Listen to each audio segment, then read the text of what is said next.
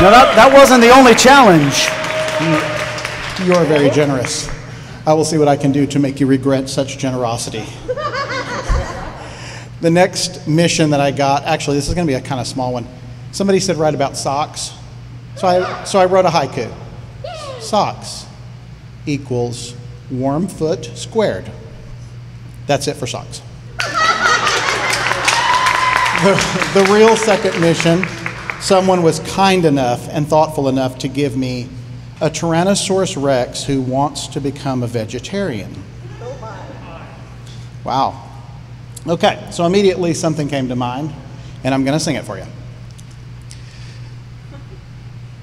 Way back in the Cretaceous period of North America, there lived a dino named Tommy T. Rex. Mm. And in spite of the fact that his entire species were apex carnivores, he wanted a bid more. Tommy wasn't like that. He said, I'm going to eat green stuff. So one day he dropped the evolution of millions of years and decided to shift gears. Tommy T. Rex. Dig that hole. Sorry.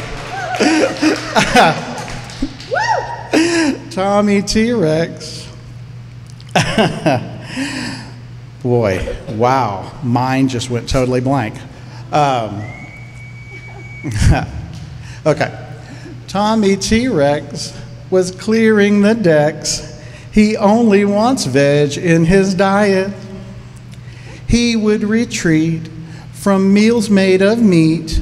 Raw flesh gave his stomach disquiet. The flowers and leaves were there to relieve his fear and his loathing of protein. So he'd chew some grass and call it first class, firmly deciding to go green. he had a great plan to go strict vegan, but stopped short of playing that venue because he really liked eggs from the shells to the dregs, so he would keep them on the menu. Start eating plants so sure of his stance, then Tommy collapsed in the jungle. Oh no!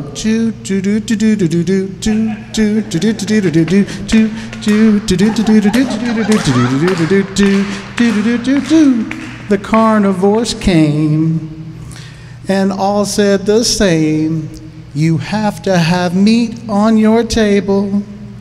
See this here carcass we brought? Tommy, eat it now, give it a thought. And he did it, and he ate it like it was a staple.